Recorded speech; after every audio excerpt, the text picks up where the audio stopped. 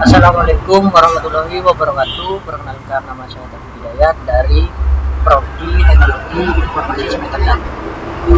Di video kali ini saya akan menjelaskan dasar-dasar fungsi mengenai files dan tools di Photoshop CS3.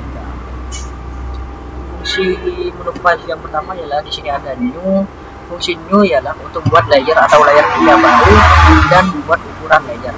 Contohnya seperti ini di sini saya membuat ukuran 720 kali 720 kalian tinggal klik OK nanti secara otomatis akan membuat layer baru.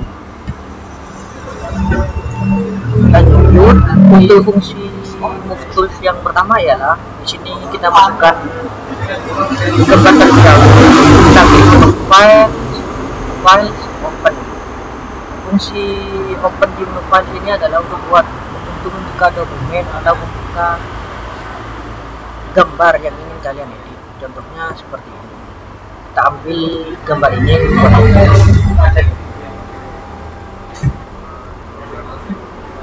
Di sini kita akan menggunakan tools fungsi tools yang pertama ialah kalian bisa mengklik klik. Drag with mouse.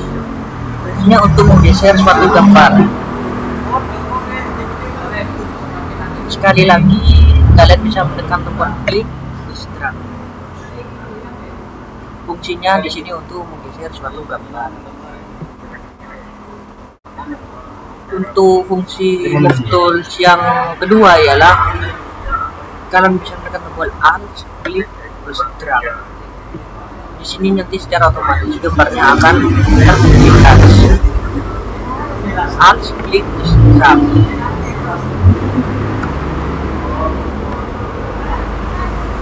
lanjut untuk fungsi untuk menyimpannya kalian bisa klik menu file file. Di sini kalian cari menu save as atau gampangnya kalian bisa klik control s. Di sini kalian tinggal klik save.